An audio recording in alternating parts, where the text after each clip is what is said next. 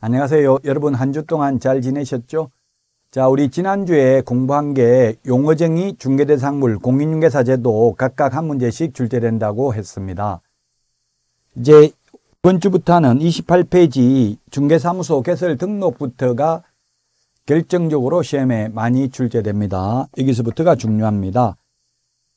자, 중개사무소 개설 등록을 한 자를 우리 뭐라고 불렀습니까? 개업 공인중개사라고 불렀죠? 따라서 등록 절차라는 말은 개업 절차입니다. 자, 그러면 먼저 개업 절차를 보고 한번 다시 교재를 보고 보충하도록 하겠습니다. 개업 절차가 등록 절차입니다. 등록 절차. 등록, 즉 개업을 하려면 반드시 공인중개사 자격을 취득해야 됩니다. 공인중개사법상은 자격 취득하지 않고 개업할 수 있는 방법이 없습니다. 변호사도 자격 취득해야 된다. 시험에 출제됐습니다. 변호사는 자격 취득하지 않고 등록할 수 있다. X입니다. 무조건 공인중개사법상은 자격을 취득해야 됩니다. 개업하려면. 그리고 실무교육이라는 것을 받아야 됩니다. 실무교육 등록 신청일 전 1년 이내에 시도지사가 실시하는 실무교육을 받아야 되고 그 다음에 건축물 대장에 기재되어 있는 중개사무소를 확보해야 됩니다.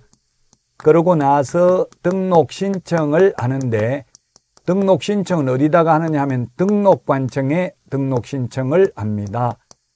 등록관청은 주소지가 아닌 사무소 소재지 시장 군수구청장입니다.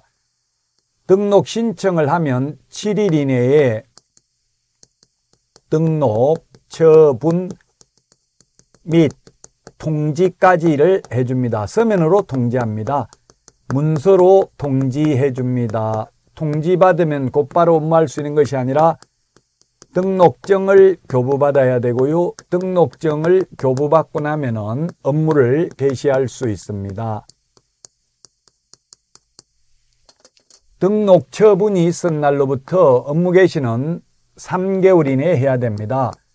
3개월 초과하도록 업무 개시하지 아니하면 휴업 신고해야 됩니다. 그래서 휴업 신고도 안 하고 업무 개시도 안 하면 100만 원 이하의 가태료가 되겠습니다. 무단 휴업한 것으로 보아서. 자, 그 다음에 또 우리 법에 의하면 손해배상을 보장하기 위한 보정 설정도 업무 개시 전에 해야 됩니다. 돈이 있다 하더라도 미리 보정 설정, 등록 신청할 때 보정 설정하고 싶어도 못합니다. 등록 처분 통지서를 가지고 가야 됩니다. 즉 무등록 중개업자는 보증 가입을 할 수 없습니다. 자, 그 다음에 인장 등록인데 중개행위에 사용할 인장은 등록 신청하면서 등록해도 되고 업무 개시 전에 인장 등록해도 됩니다. 업무 개시 전에 해도 된다. 업무 개시 전이라고 되어 있지만 사실상 인장 등록, 보정 설정 모두 등록증 교부 전에 해야 됩니다. 왜? 등록 인장을 이 등록증에 찍어야 되니까 따라서 등록증 받고 나서 업무 개시 전에 인장 등록, 보정 설정해도 된다는 X입니다. 그러나 포괄적으로 업무 개시 전에 인장 등록하면 된다. 등록 신청 시부터 맞는 말이고요. 손해배상을 위한 보정 설정도 업무 개시 전에 한다라고 하면 맞습니다. 다만 등록증 받고 나서 업무 개시 전에 한다. 이건 X입니다. 자, 그 다음에 보정 설정 여부를 확인하고 보정 설정 여부를 확인하고 지체 없이 등록증을 교부해야 된다. 지체 없이 이런 규정이 있습니다. 시행규칙 5조 1항에 보면 따라서 등록 여부를 확인하고 지체 없이 등록증을 교부해 주니까 업무 개 시 전이라고 되어 있지만 등록증 받고 나서 업무 개 시 전에 보정 설정할 수 있는 것은 아닙니다.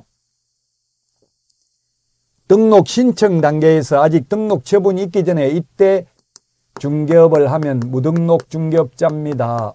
시험에 출제됐고요. 그러나 등록 처분 통지를 받고 나서 등록증 받지도 않고 인장 등록도 안 하고 보정 설정도 안 하고 업무를 개시했다 하더라도 무등록 중개업자는 아닙니다. 왜? 개업 공인중개사의 용어 정의가 등록한 자이기 때문에 등록을 한다는 것은 등록 처분이 있으면 등록을 한 거거든요. 등록 처분은 있었기 때문에 등록 처분 통지받고 나서 중개업을 하면 무등록 중개업자는 아닙니다. 자, 그러면 우리 요약집 교재 보도록 하겠습니다. 28페이지. 맨 위에 등록이라는 것은 행정청에 비치되어 있는 즉 등록 대장에다가 등, 등이 뭡니까? 오를 등자, 우리 등산할 때 등자입니다. 록은 기록할 때 록자입니다. 기록을 올리는 걸 등록이라고 합니다. 등록 대장에 이분 중개업할 것이다 하고 기록을 올리는 걸 등록이라고 합니다. 따라서 이렇게 등록을 한 자를 개업공개사라고 합니다. 자, 등록관청입니다. 양가로 1번. 등록관청은 주소지가 아닌 사무소 소재지 시장 군수 구청장입니다. 구가 있으면 구청장, 구가 없으면 시장입니다. 그러면 수원시 영통구라면 수원시장이 등록관청이 아니라 영통구청장이 등록관청이 되겠습니다. 따라서 우리 공인중개사법 시험에 자치구의 구청장에 한한다 이런 말 나오면 무조건 X입니다. 자치구든 비자치구든 구가 있으면 구청장이 등록관청입니다. 자치구란 특별시 광역시에 있는 구를 자치구라고 하고 비자치구는 특별시 광역시 외의 지역에 있는 구를 비자치구라고 합니다. 자, 그 다음에 2번입니다. 등록의 성질인데 효력 요건이 아니고 적법 요건입니다. 따라서 무등록 중개업자가 중개를 했다 하더라도 중개 행위의 효력은 유효합니다. 즉 매매 계약을 중개했으면 매매 계약은 유효합니다. 단지 무등록 중개업자로 처벌받을 뿐입니다. 그리고 무등록 중개업자의 보수 청구권은 인정되지 않는다. 29페이지 맨 위에 동그라미 2번 대물적 행위가 아니라 대인적 행위다. 따라서 사람을 보고 등록을 해줬기, 해줬기 때문에 그 사람이 사망을 하거나 법인이 해산하면 등록의 효력이 소멸합니다. 등록 취소 처분이 없어도 동그라미 3번 자유재량행위가 아니라 기속행위다. 그 기역, 니은, 디귿, 리을 요 네 가지 빼고는 무조건 등록해 줘야 한다. 근데 기역, 니은, 디귿, 리을 이 네 가지 시험에 나온 적 없습니다. 여러분들도 읽어보시면 알겠지만 기역 해 보니까 공인중개사 또는 법인이 아닌 자가 등록 신청한 경우 니은 결격 사유에 해당되는 경우 디귿 등록 기준에 미달하는 경우 리을에 이 법 또는 다른 법령에 따른 제한에 위반되는 경우 당연히 이런 거는 등록 안 해주겠죠. 제가 등록을 해보니까 다른 법령 위반이 뭐가 있냐면은 세금 체납하고 있으니까 재산세 연체하고 있으니까 재산세가 갔다 오라고 하더라고요. 가니까 세금 안 냈네 이러더라고. 세금을 안 내면 인허가 못 받을 수도 있습니다. 따라서 이 네 가지 빼고는 중개업소가 너무 많아서 등록 못 해주겠다. 이런 거 안 됩니다. 무조건 등록해 줘야 되고 이 네 가지 빼고는 기속행위입니다. 자유재량행위가 아니고요. 자, 양가로 3번에 동그라미 1번 등록 신청 할 수 있는 자인데 공인중개사 소속 공인중개사 제외, 제외 동그라미 하십시오. 또는 법인이 아닌 자는 등록 신청할 수 없다. 소속 공인중개사가 제외니까 등록 신청할 수 있냐 없냐 두 번 시험에 나왔는데요. 소속 공인중개사는 등록 안 됩니다. 즉 나무 밑에 취직되어 있는 사람은 개업 안 됩니다. 개업하려면 그만두고 해야 됩니다. 그만두면 이미 소속 공인중개사 아니죠. 그래서 여기서 가로 안에 소속 공인중개사 제외한다는 말 뜻은 소속 공인중개사는 개업 못한다는 이야기입니다. 소속 공인중개사는 매수 신청 대리인 등록도 안 됩니다.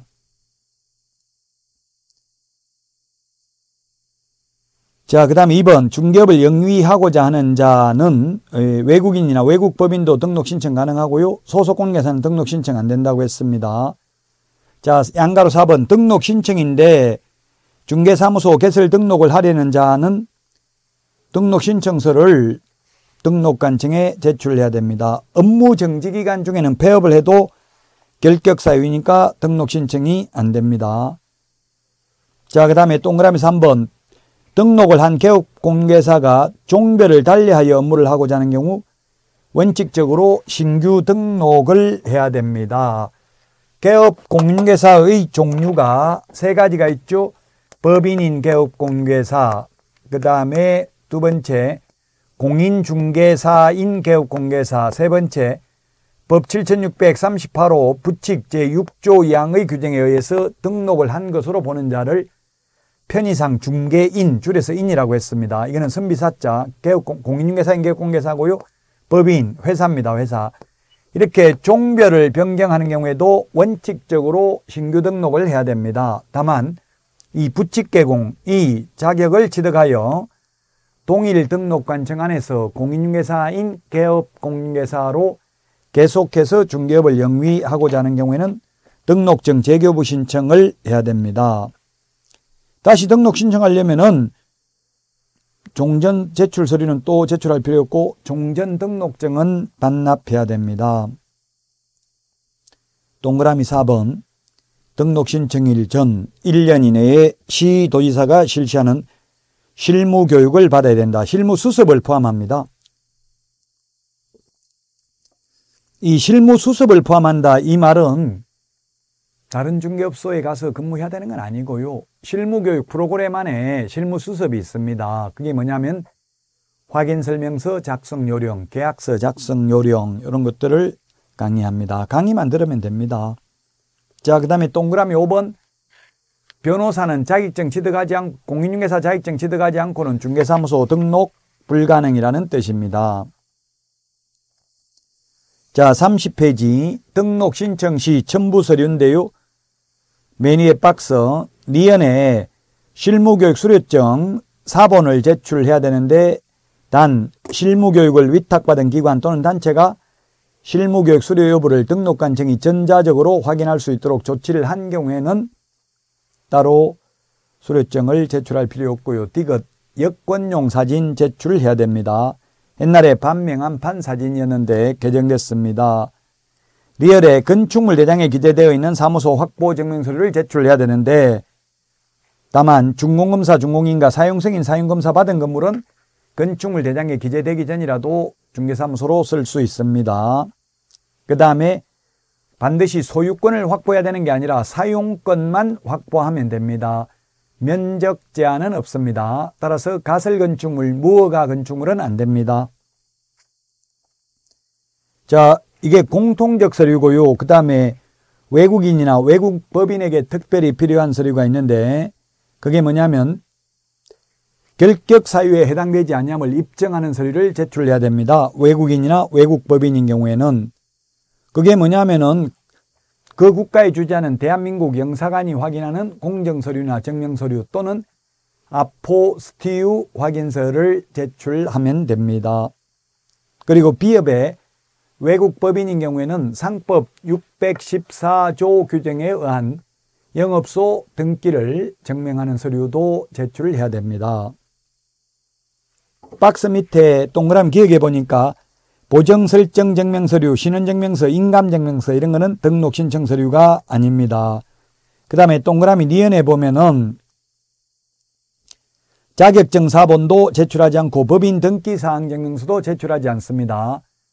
자격증은 지난주에 우리 자격증 교부대장은 전자적 처리가 불가능한 특별한 사유가 있는 경우를 제외하고는 전자적 처리가 가능한 방법으로 작성 관리되어 있기 때문에 사실상 제가 등록 신청해 보니까 제 주민등록번호 입력하니까요.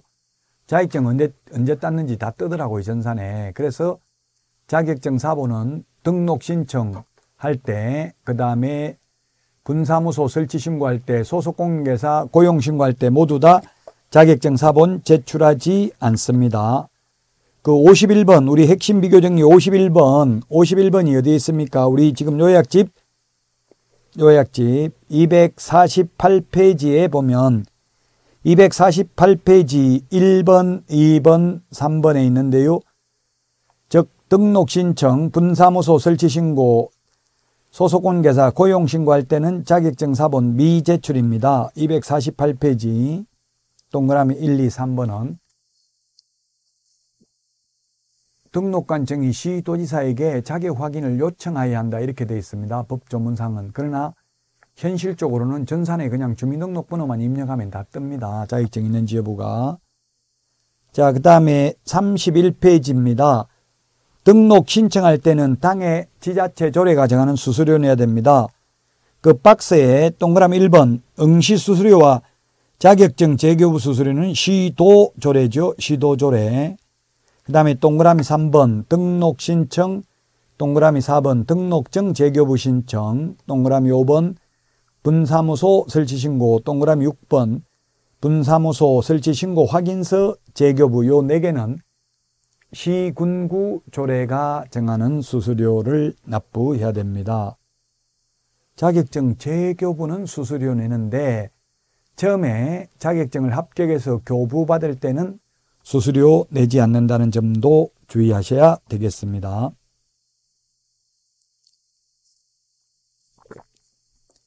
31페이지 맨 밑에 등록 기준인데요.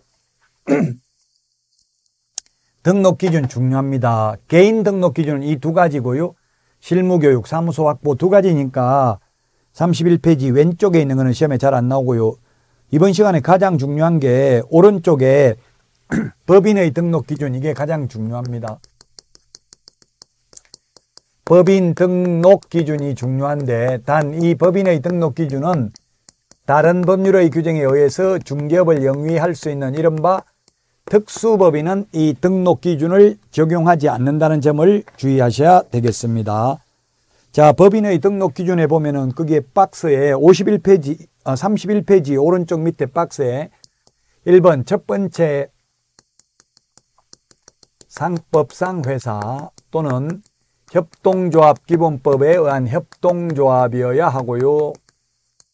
협동조합인데 단 사회적 협동조합은 제외한다. 사회적 협동조합은 제외하고요. 자본금이 5천만 원 이상이어야 합니다.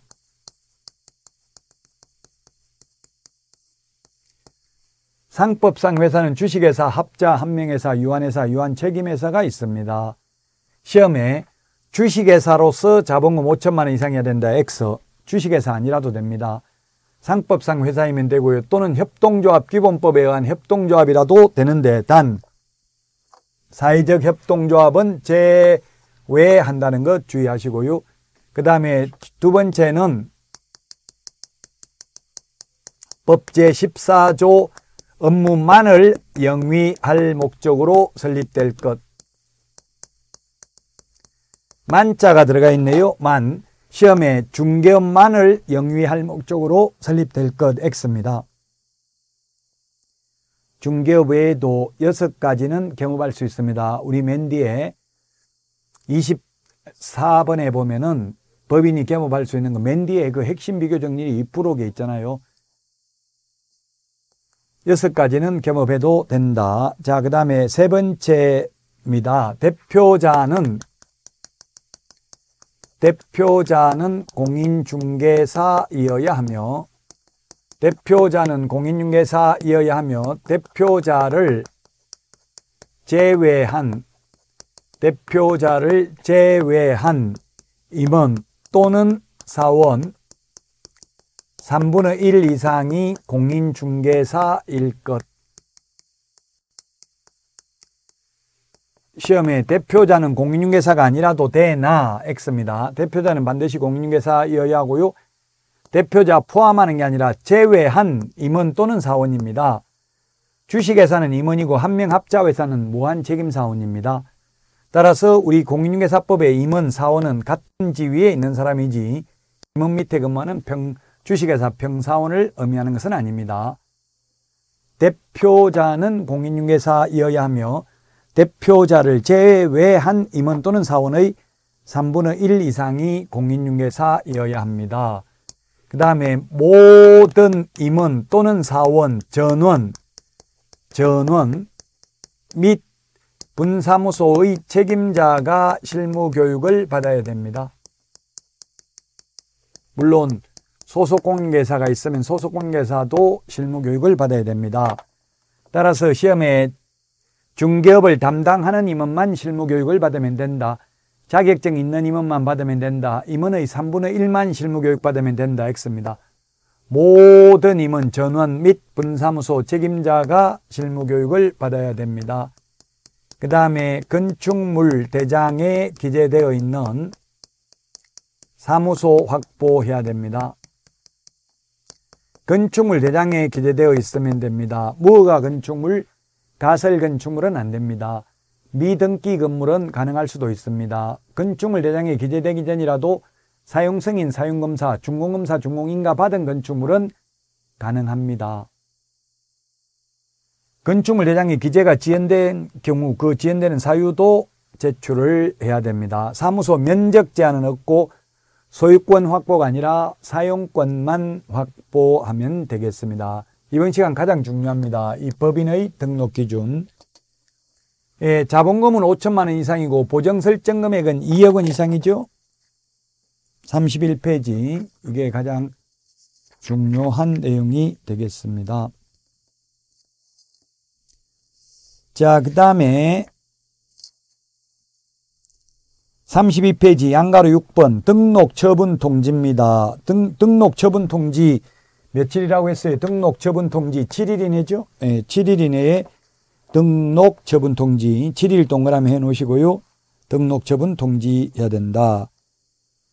자, 그 다음에 나머지 동그라미 2번 등록증 교부 재교부 앞에서 말씀을 드렸는데요. 등록증 교부는 보정 설정 여부 확인하고 지체 없이 등록증을 교부해야 됩니다. 자, 그 다음에 33페이지 등록 관청이 다음 달 10일까지 협회에 통보해야 되는 거 6가지 있죠. 중개업 등록사항은 통보하는데 등록증 재교부는 통보하지 않습니다. 1번에 등록사항은 통보하는데 등록증 재교부는 통보하지 않는다. 예, 우리 핵심 비교 정리 맨 뒤에 부록에 25번에 있습니다. 그 다음에 휴폐업 신고사항, 분사무소 설치 신고사항, 등록 취소 업무 정리 등 행정 처분 사항 통보됩니다. 자격 취소, 자격 정리는 통보되지 않습니다. 그리고 중개사무소 이전, 그 다음에 고용, 고용관계 종료 신고사항 다음 달 10일까지 협회에 통보해야 됩니다.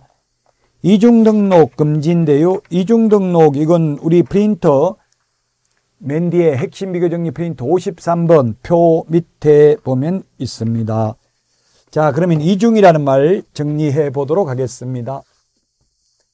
이중 등록, 이중 소속, 이중 사무소, 이중 계약서.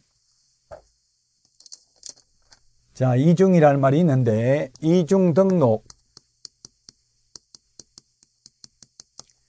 이중 등록, 그 다음에 이중 소속이 있고, 그 다음에 이중 사무소, 이중 사무소가 있고요. 이중 사무소와 똑같이 처벌하는 게 이동이 용이한 임시 중개 시설물, 소위 뜻다방이 있습니다. 그 다음에 이중계약서,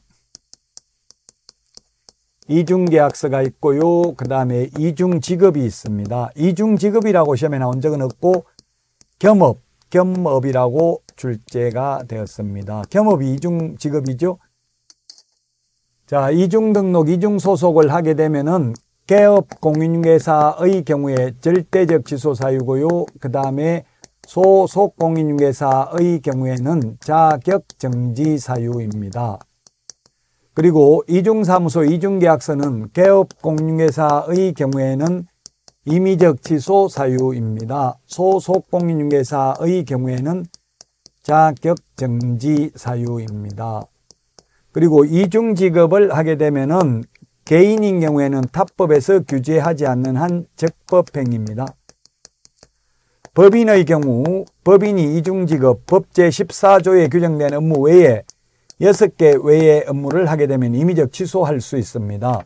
그리고 이중 등록, 이중 소속, 이중 사무소, 즉 임시중개시설물까지는 1년 이하의 징역이나 1천만 원 이하의 벌금에도 처합니다.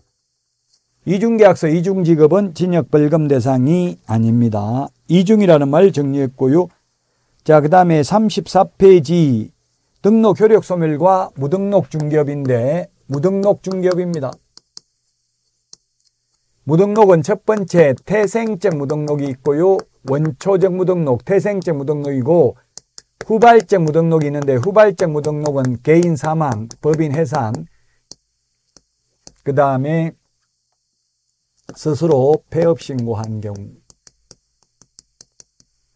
폐업 신고하는 경우, 등록 취소 처분이 있는 경우, 이게 후발적 무등록, 이게 원초적 무등록인데요. 태생적 무등록인데 무등록은 모두 3년 이하의 징역이나 3천만 원 이하의 벌금에 처하는 것은 똑같습니다. 결격 사유, 즉 등록 취소 사유에 해당되었다 해도 곧바로 무등록 중개업자가 되는 것은 아닙니다. 비로소 등록을 취소해야 무등록이지 취소 사유에 됐다고 무등록이 아닙니다. 예를 들면 예, 피성년 후견인이 어, 피성년 후견인이 됐습니다. 개업공개사가 또는 파산 선고 받았습니다. 개업공개사가 파산 선고 받고 개업공개사가 중개업을 해도 무등록 중개업자는 아닙니다. 파산 선고 받으면 등록을 취소해야 되고 취소 처분이 있기 전까지는 무등록이 아닙니다.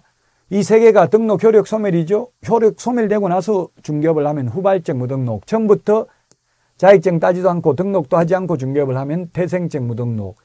이 무등록 중개업자의 중개 행위의 효력은 유효하다고 했죠. 무등록 중개업자가 무등록 중개업자가 매도인과 매수인 간의 매매 계약을 중개했다면 이 거래 계약의 효력은 유효합니다. 단지 무등록 중개업자는 3년 이하의 징역이나 3천만 원 이하의 벌금을 받을 뿐입니다. 이 무등록 중개업자의 보수 청구권은 인정되지 않습니다. 무등록 중개업자는 3년 이하의 징역이나 3천만 원 이하의 벌금이지만 무등록 중개업자에게 중개를 의뢰한 의뢰인은 처벌 대상이 아닙니다. 자, 34페이지까지 했습니다. 여기서 시험에 반드시 출제되는 게 법인의 등록 기준이고요.